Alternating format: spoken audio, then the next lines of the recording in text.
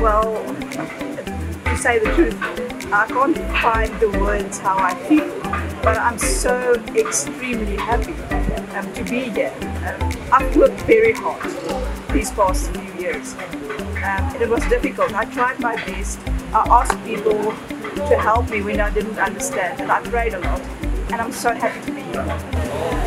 Well, I would like to become a teacher for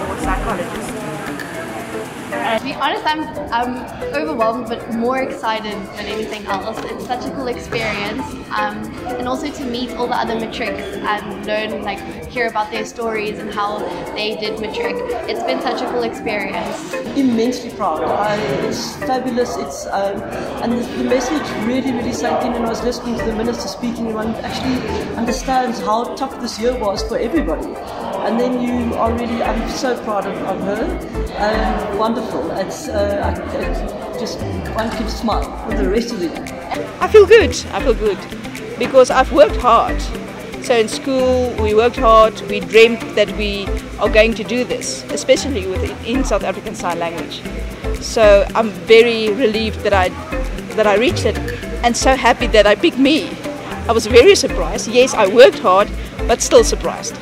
It is indeed, uh, Program Director, a great honor to really speak on this auspicious occasion. And we call it auspicious because it's, it's this one is different.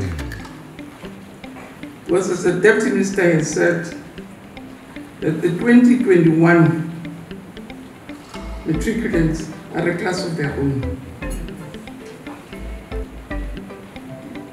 Because we need to understand and appreciate the magnitude of them being a top learner in 2021.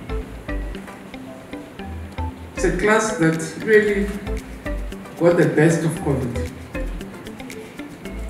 They right in the middle of it. It is the only class so far that studied for two consecutive years under the state of disaster to mitigate against COVID-19 spread. And I really, when I look at you, I want to say, thanks God we made it. You to feel so that, yo, we made it. And thanks God we're here, we've survived, and now we are amongst the top learners in the country. So thank you very much for really making us this proud.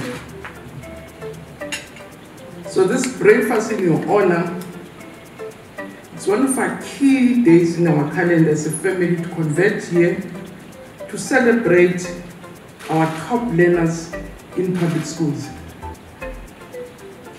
In honoring top learners, it is a gesture for a large and complex system as ours. It's huge. So thank you very much for, for really making us proud and for carrying our hopes as a nation and wish you well in the future and say please continue to make us proud.